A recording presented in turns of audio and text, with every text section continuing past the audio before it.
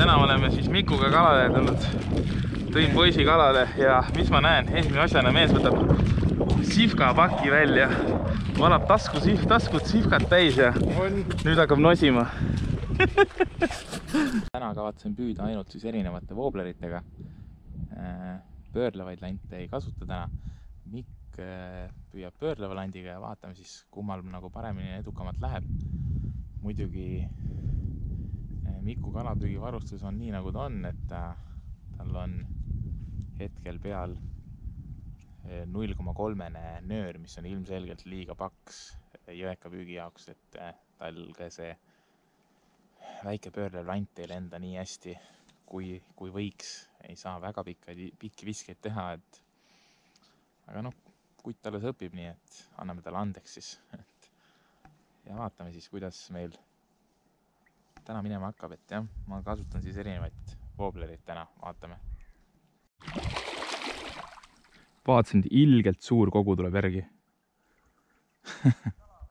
kala jah, aga haug mm,. ei ole mõõdupiiri peal aga äh?, vaatasin, viimasel hetkel tuli mingi suur kogu, jätsin landi seisma ja, ja väga haugi poiss, jah. mõtlesin, et äkki on ikka. aga muidugi ma lasen täitsa piiri peal hullu panen, et mul ei ole ju, et mul ei ole ju seda trossi vahel, vaata. ta võib vabalt mul kuradi. oss, oss, oss, oss, rahu, rahu, rahu ta võib ju mul, ta võib ju landiga minema panna niimoodi.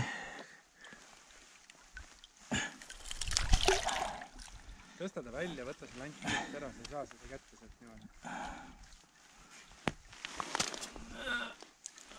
käsi kalaseks ikka.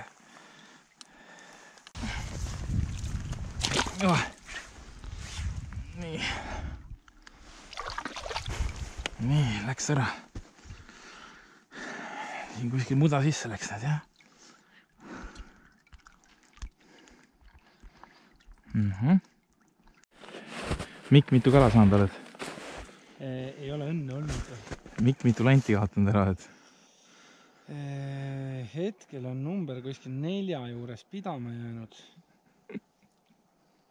aga see ei tähenda, et ta seal täna lõpeb.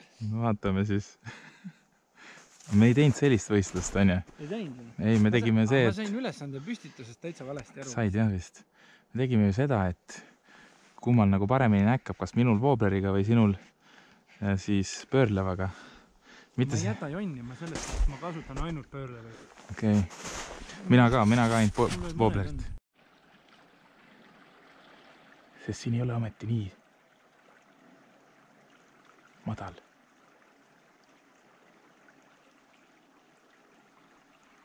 jep, see oli võtt.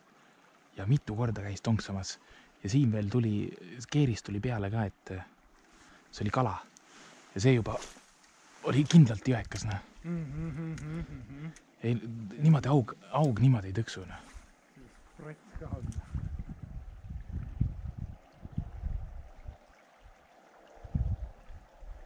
aga sa pane enda seljaga ka. sest mul on tunne, et ta ei saanud konksu ta lihtsalt ründas, nii et ta võib tahta ka, ta võib vabalt ka sinu, sinu lanti rünnata. võid panna korra sinna taha, ma kerin kohe eest ära. noh, nii, ops, ops, jõekas ka, ossa. Nonii äh,, okei okay.. kas mul video ka vist käib või? kuule, see on päris suur see on päris suur, ei, ei, see on kindlalt mõõdus oh,. Oh, oh, oh, oh, oh. nii, oota. oi, see on kindlalt mõõdus. mõõdukala on ta kindlalt, aga,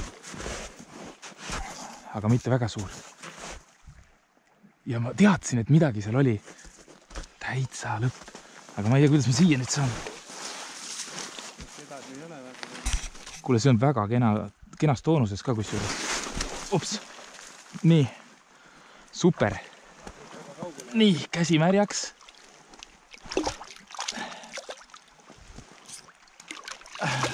ei ole veel väsinud. ei ole veel väsinud. mõõdus on, sina ära ei väsi. mõõdus on ta kindlasti, aga kas on? on, on. saan kohe mõõta ka ära. ahah, sihuke piiri peal täpselt. piiri peal mõõdukas. nii,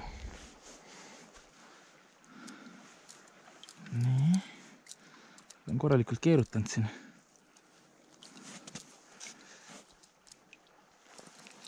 nii, aga lihtsalt Nonii.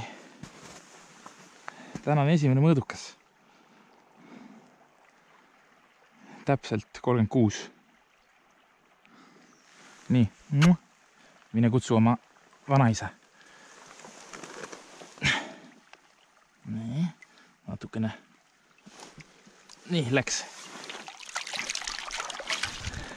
kuule, nukid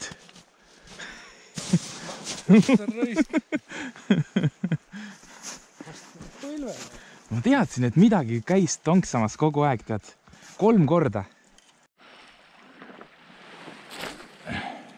ah,. jah, nüüd tuli kehva. aga väga super.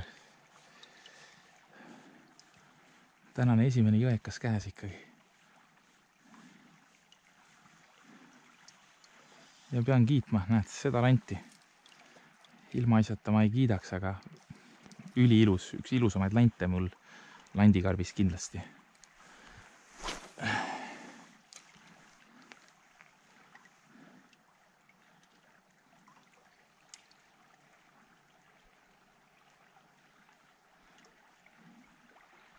Ja noh, kui siit ei oleks kala tulnud, no come on. see on täpselt ideaalne koht jälle, jõgi teeb väikse, väikse kurvi, aeglane vool.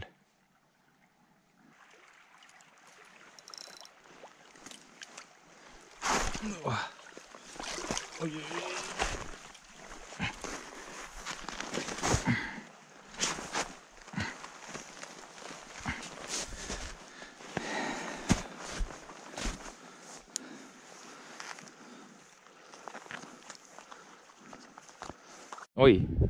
läks otsast, Miku päeva suurim praegu oli otsas,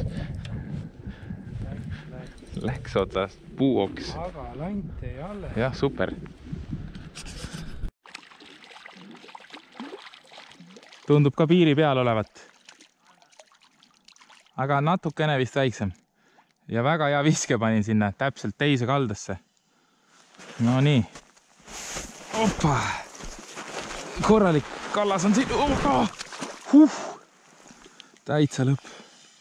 Nonii, see on natukene väiksem ikka natukene väiksem. käsi märjaks. jälle on keerutanud.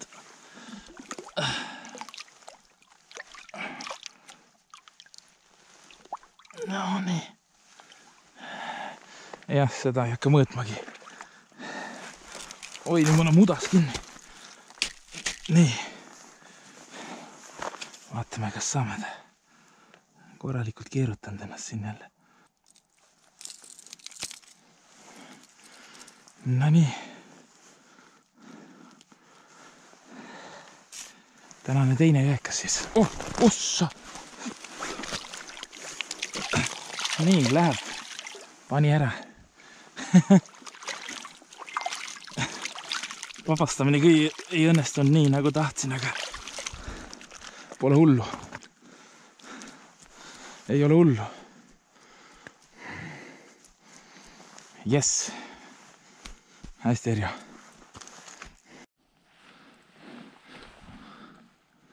sellest viimasest kalast nüüd on kahju, et ta kogu võtt ei jäänud, ei jäänud lindile, filmile, et kala pani päris mitu ilusat küünalt. ja täpselt sinna kuskile äärde ma selle viske tegin. ja sealt oli otsas ka. ja kusjuures Mikk viskas siin juba oma kaikaga läbi vist. ma ei tea, kas ta just sinna, täpselt sinna vastaskaldasse viskas, aga nii, nüüd on vaja kuidagi ülesse saada. Kell on pool kuus, nii et kalad tulid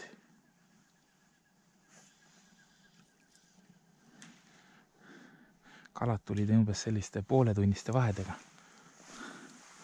ja ikka siis, kui juba päike madalamale hakkab minema. nii, Mikk on juba seal. muidugi ta oleks võinud, oleks võinud selle kurvi siit kuidagi läbi pommitada. Läks otse kurvi peale, see ei ole hea. pärast pärast noomin.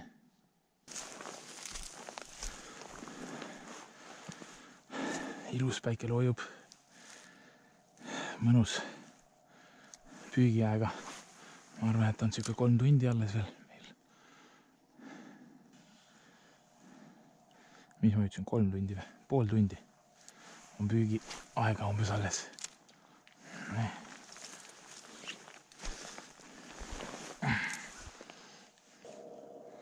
siin on jälle muidugi sügavam kõvasti.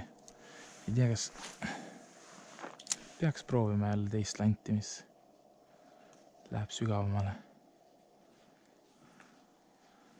samas ei taha seda forellijäärides lanti praegu ära vahetada, tead. see on ikkagi kaks ilusat kala toonud. Mikk, mis teed siin?